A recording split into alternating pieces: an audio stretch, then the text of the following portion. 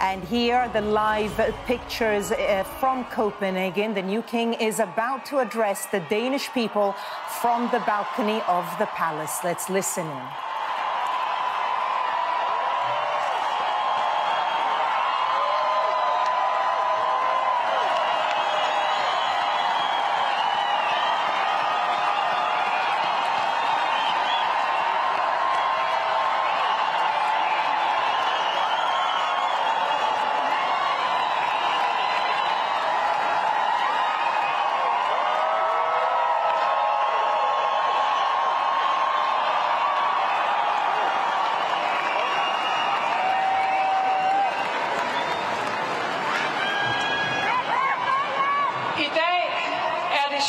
Den 14. januar 2024.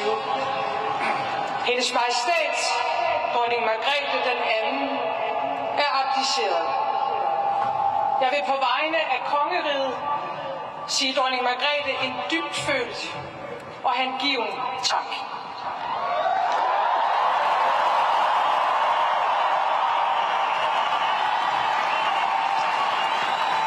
Tak for, tak for at løfte arven, pligten og ansvaret. Tak for at forbinde os til fortiden og forberede os til fremtiden. Tak fordi de gjorde dem umage og meget mere til. Vær dronning og vær konge er et led i en mere end tusindårig kæde. Når den ene træder tilbage, står den næste klar.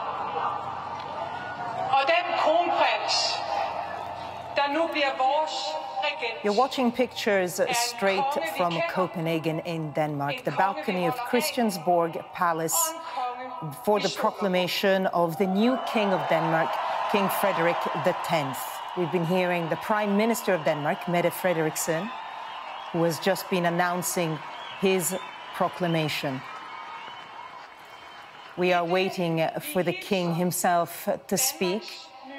And we can hear the cheering of crowds gathered there as we have seen thousands and thousands of people gathered uh, on the streets of Copenhagen between the palaces, where first uh, the ex Queen Margrethe, who of course still retains her title, but who abdicated earlier on uh, to hand over the reins to her firstborn son, King Frederik X. We are hearing from the Danish Prime Minister, Mette Frederiksen, announcing the new Danish king.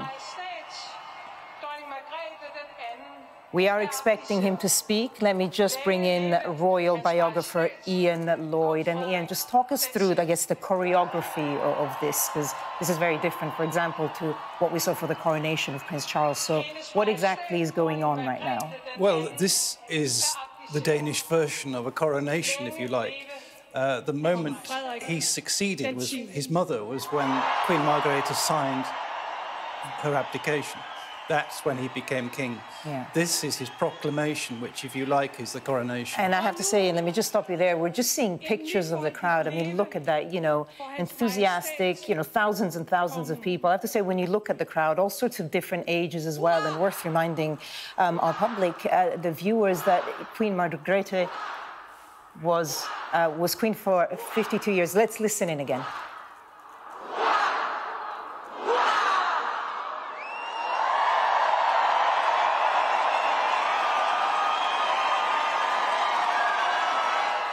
They were shouting, hurrah, hurrah for the new king. Let's listen in. Min mor, hendes majestæt, dronning Margrethe den anden, har regeret Danmark i 52 år. Gennem et halvt århundrede er hun fuldt med tiden, med vores fælles arv som afsæt.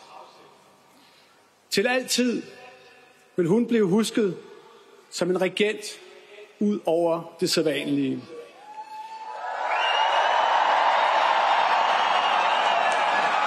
Min mor har som få formået at gå i et med sit kongerige.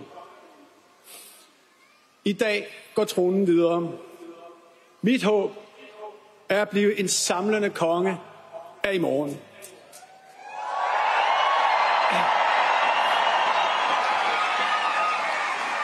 Det er en opgave, jeg har nærmet mig hele mit liv. Det er et ansvar, jeg tager på mig med respekt So that is uh, the newly proclaimed the King of Denmark there, King Frederik X, uh, addressing thousands of people gathered there. And of course, one presumes the millions of Danes uh, watching from their TV screens as he is proclaimed uh, king. He's on the balcony of Christiansborg uh, Palace, uh, usually where the prime minister resides as well. And that is exactly who we see next to him, the Danish prime minister, Mette Frederiksen. the queen of Denmark Denmark abdicated officially and handed over the reins to him. About an hour ago, we saw her uh, sign over uh, powers, and we are now hearing the king speak. And you can see the crowds there, everyone waving Danish flags. Very popular. There had been worries, apparently, when. When the Queen announced her abdication, the royal household was worried that perhaps, and there is the new Queen, Queen Mary, the new Queen of Denmark. Yeah. And let me uh, bring in royal biographer who is in the studio with me, Ian Lloyd. Ian, lots to talk about, but just looking at that picture there, a very, I guess, a modern couple. You know, they're not that young, they're in their 50s, but, but a new, uh, modern and young uh, face of uh, the monarchy, the king and his queen. Absolutely, yes, because Denmark, like Britain 100 years ago, royalty would only marry royalty. Um, now we've got uh, royalty marrying, um, if you like, commoners, people who are not uh, aristocratic, not uh, royal. And we've got there, and we will have with Kate Middleton in Kate Duchess, uh, the Princess of Wales, um, the rise of the middle class monarchy, mm. if you like, that uh, ordinary people, uh, her father, Mary's father was a maths professor, I believe, um, somebody from a, a, conventional, ordinary background who injects this new life into the monarchy. I suppose the thing to say about Mary, though, uh, not only sort of, you know, not of aristocratic background, but foreign. Um, you know, Australian. she's Australian, yeah. uh, came to Denmark, learned Danish quite quickly, speaks it fluently, bit of an accent, but you know, not the easiest language uh, to learn. Obviously, in the UK, we had it as well with Meghan Markle being uh, American, but I suppose here you have the Queen, heir to the throne, and I think all of the daughters-in-law, especially there's one that's an ex-daughter-in-law, I think they were all uh, non-Danish. So a, lot of firsts, and I guess very much we can see there uh, the whole balcony, everyone, uh, the members of the royal family. it's very, it's very difficult. I mean, in, in Britain, um, Prince Philip, um, it was very difficult for him to marry the future Elizabeth II. There was an opinion poll at the time, and people said, why can't she marry an Englishman? Uh, when Prince Albert married Victoria, again, there was a lot of controversy. And recently, Meghan Markle, um, it wasn't necessarily, I don't believe, the race card with Meghan. I do think it was the fact that she was American. Uh, uh, can put people off, but I think uh, she, uh, Mary's Australian, and it's uh, been a very popular move. She learnt um, Danish quite quickly, apparently, and is very proficient.